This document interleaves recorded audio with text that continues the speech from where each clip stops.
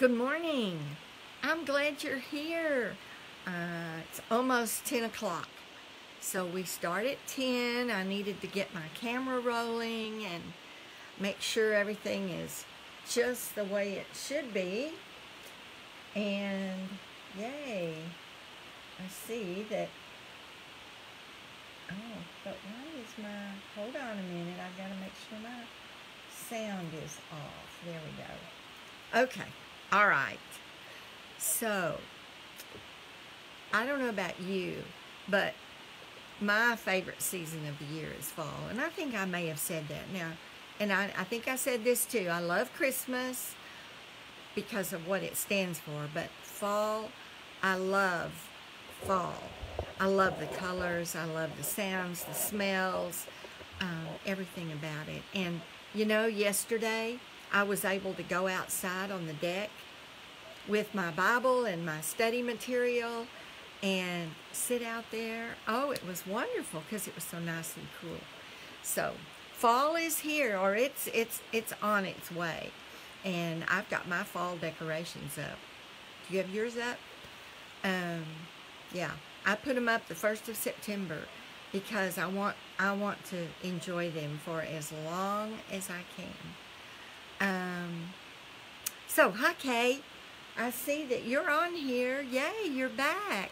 I can't wait to talk to you um, about your trip. So anyway, today is Third Thursday, Mystery Card Day, and I love Mystery Card. I watch Mystery Card replays, and and and I have my stuff gathered up, and I do them.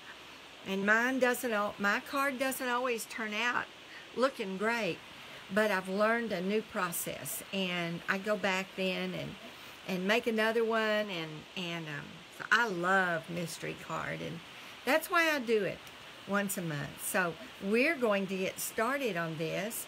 I'm going to move my phone over to the iPod, and um, so hang on for just a minute.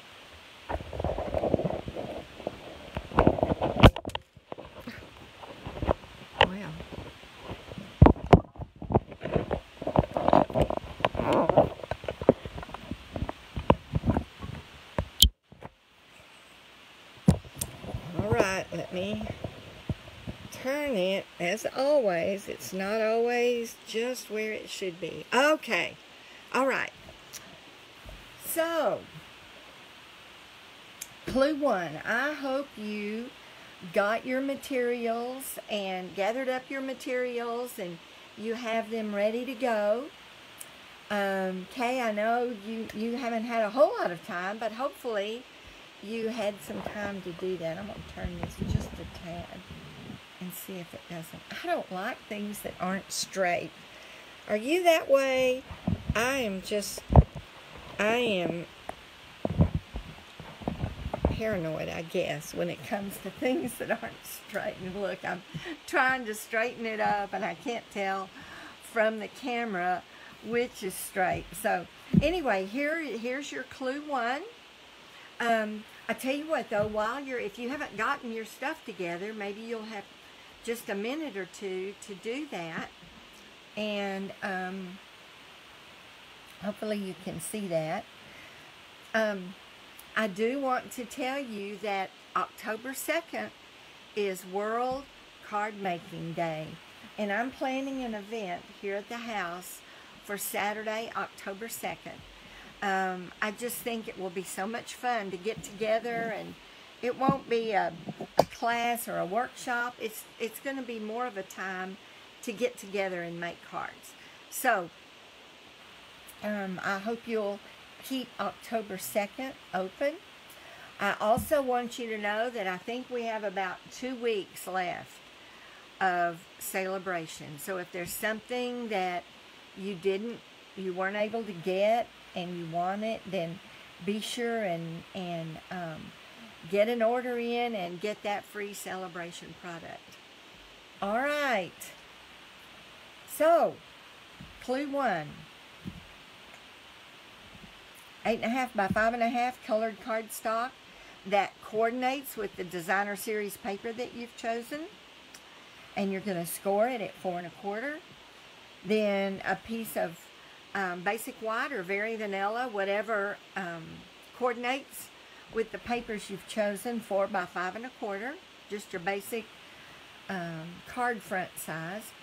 And then you're going to need a piece of designer series paper cut three and a half by one and seven eighths. Three and a half by one and seven eighths. And then you're going to need a coordinating piece of designer series paper, three and seven eighths by one and a half.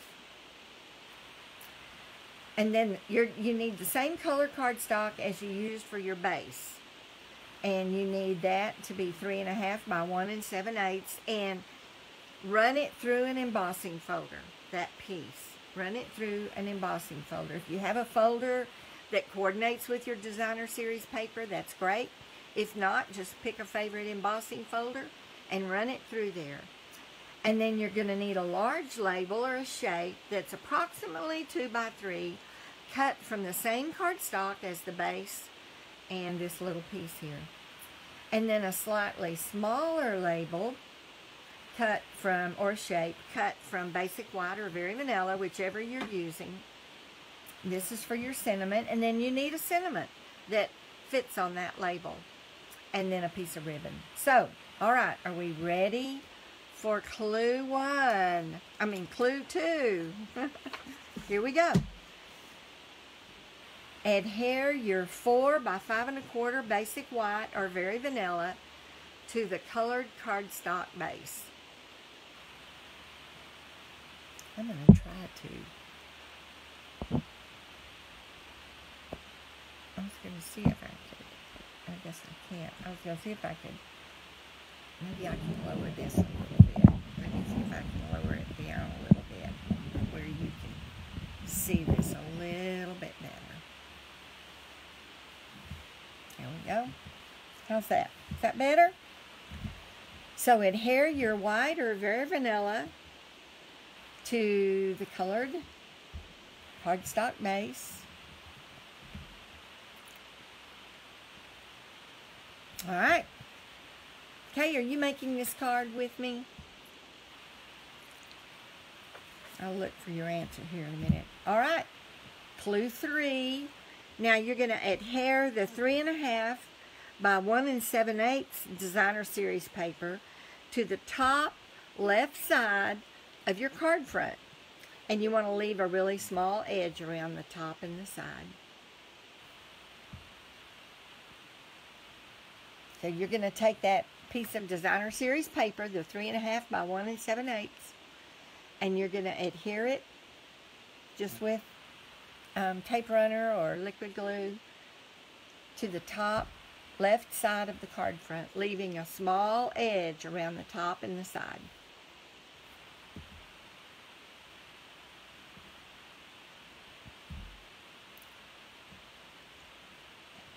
Okay. I didn't see your answer, Kay. I don't want to go too fast for you if you're doing this with me. I hope you are. This is a really simple card, but it's it's so unique. I love it. I've used this pattern with several different papers.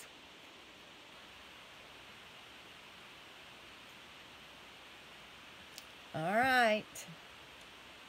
Oh. Okay. All right. Then I don't need to go too slow. I think you're the only one on here right now. All right. All right. So clue four. Adhere the embossed cardstock piece, that piece of cardstock that you embossed, onto the card front opposite the DSP, leaving an edge all around. So on the opposite side, on the top right side of your card, adhere the embossed cardstock piece. I'm hoping that there will be those who are who will watch the replay and do this. So I'm not going to rush through it, but I'm not going to worry about Kay not staying caught up. All right, so now you've got a, a piece of DSP Designer Series paper on the top left corner of your card front and now your embossed cardstock on the top right corner of your cardstock. Okay. All right, clue five. Now you've got another piece of designer series paper and you're going to adhere that along the bottom underneath your other two pieces along the bottom leaving an edge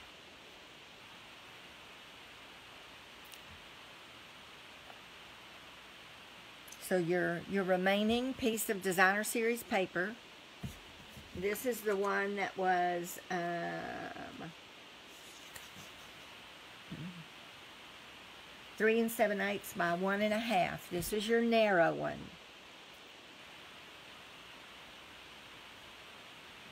So really, you're going to see this card is so simple. I mean, it's just a matter of getting these pieces down on the on the card stock, on the card base.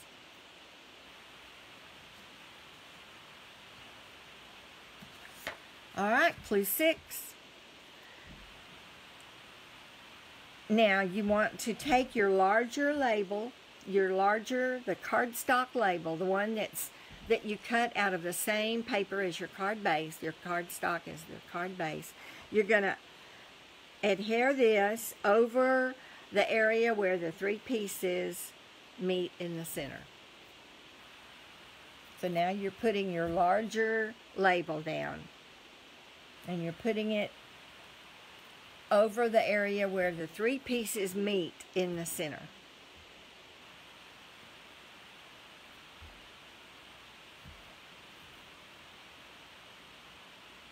Okay.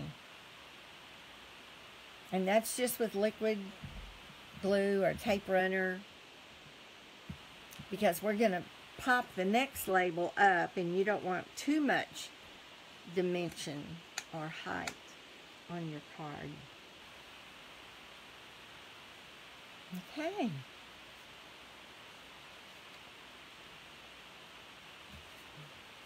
All right, clue seven. Now stamp your sentiment onto the smaller label. Go ahead and stamp your sentiment onto the smaller label and using dimensionals, adhere the sentiment piece in the center of the larger label.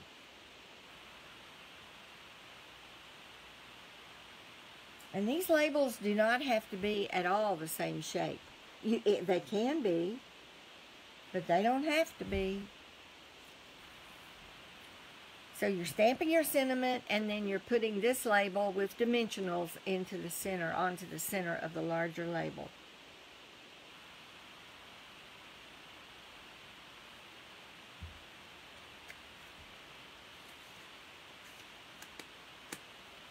And then clue eight, tie a bow and attach to the bottom of the sentiment piece with a glue dot.